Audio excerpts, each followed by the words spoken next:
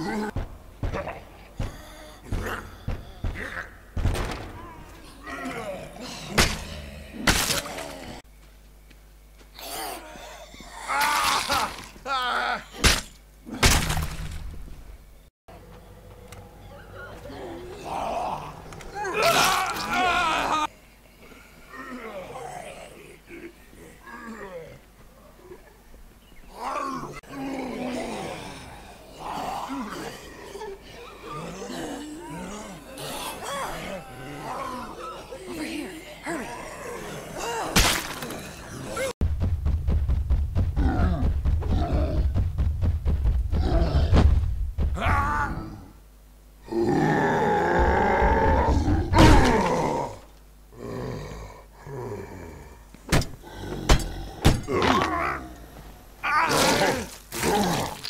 help with his notes.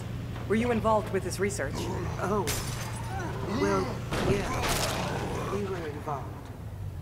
I mean, we were working together. Since his wife left him, we, uh, spent a lot of time together. At the lab, I mean. Well, mostly at the lab.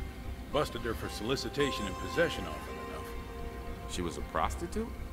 Mm-hmm. Good kid, though. I tried to get her cleaned up and off the streets, but it never took.